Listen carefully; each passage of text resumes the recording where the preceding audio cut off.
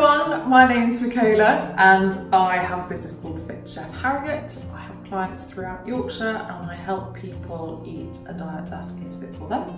Uh, very much focused on personal nutrition, dietary requirements and any dietary restrictions. So I'm really passionate about making sure that people eat well for them.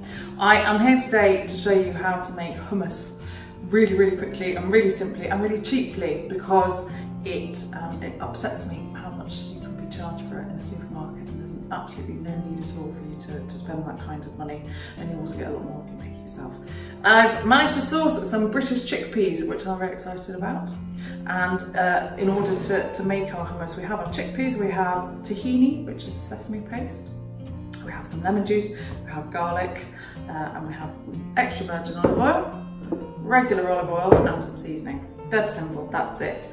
The slightly time consuming bit is if you buy dried chickpeas, you then need to soak them and cook them. You can of course buy tinned chickpeas which are extremely convenient and easy to use. So you prefer to, just pick up a can of those.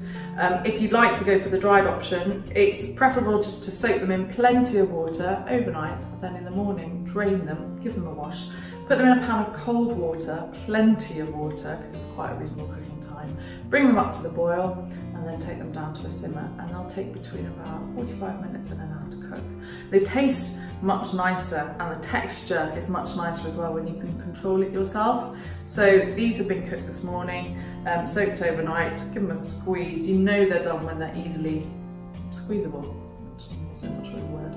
But um, yeah, so basically what we're going to do is add some of our cooked chickpeas to this um, jug. We have a whizzer.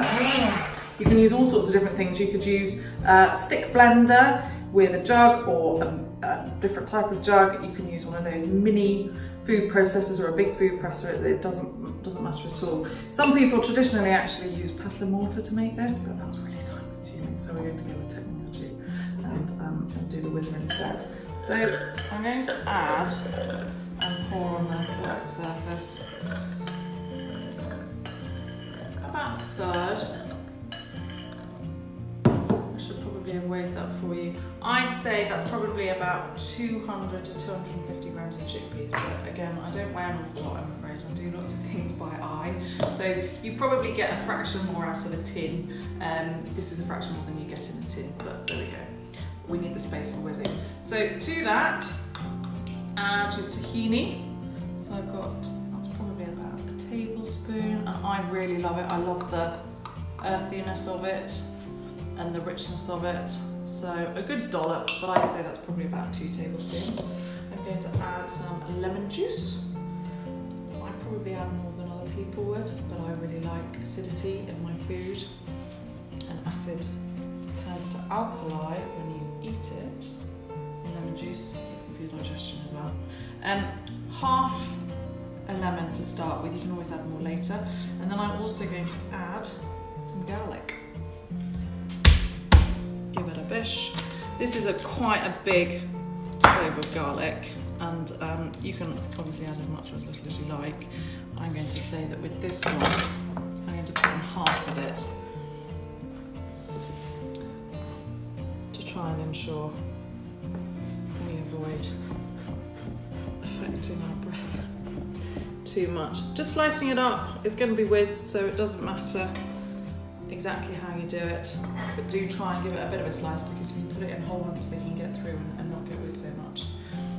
I'm going to free pour the olive oil first. I'm probably adding somewhere in the region of two tablespoons. Might seem like quite a lot, and this is a, a food stuff that is quite high in fat, but it's really, fat.